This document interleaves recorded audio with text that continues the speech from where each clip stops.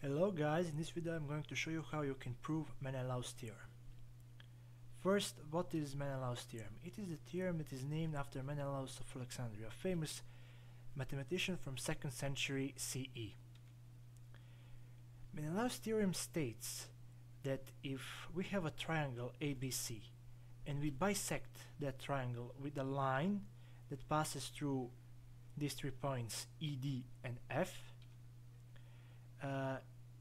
that theorem claims that length of the line FA over the length of the line FB times length of the line DB over the length of the line DC times length of the uh, length of the line EC or the length of the line EA is equal to 1.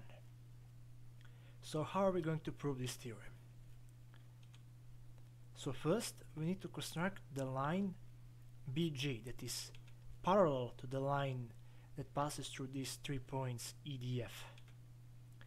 After we construct those parallel lines we can uh, see by similarities of triangles that the triangles BGA and triangles EFA are similar.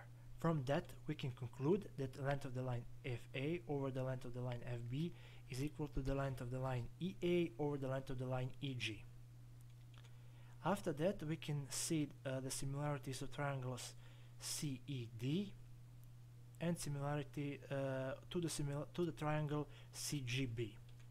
From that similarity of those two triangles we can conclude that the length of the line DB over the length of the line DC is equal to the length of the line EG over the length of the line EC.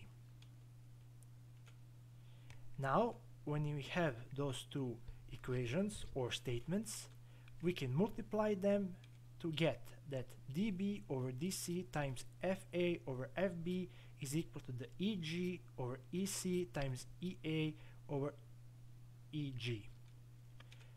After we eliminate those two uh, factors that are same and the remaining factors we move to the left side of the equation we get the statement of the Menelaus theorem.